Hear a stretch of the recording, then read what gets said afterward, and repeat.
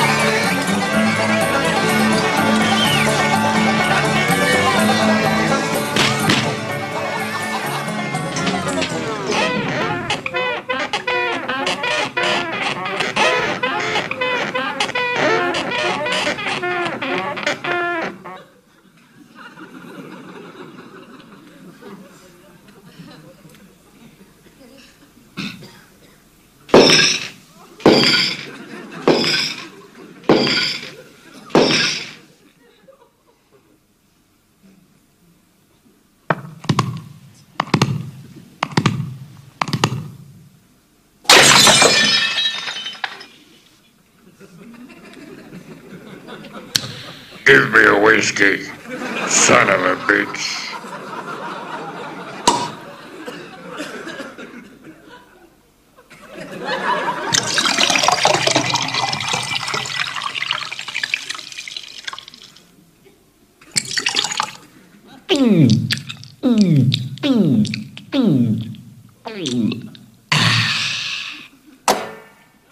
Give me another one, son of a bitch.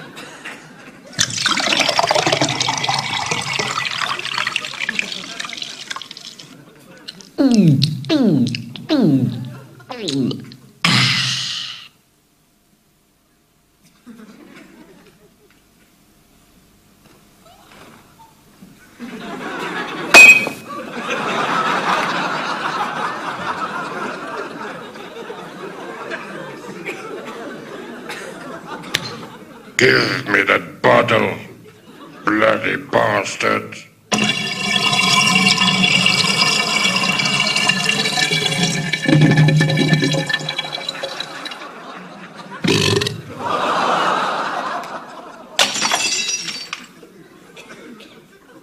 Hey, you. Hey, you. What? Me? You are a pig, man. What did you say? You are a pig.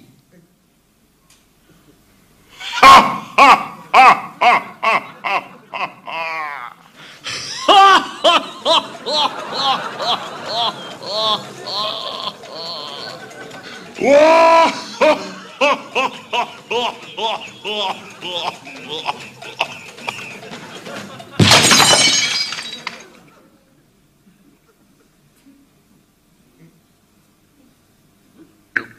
say once more, man, and I break your neck. You are the biggest.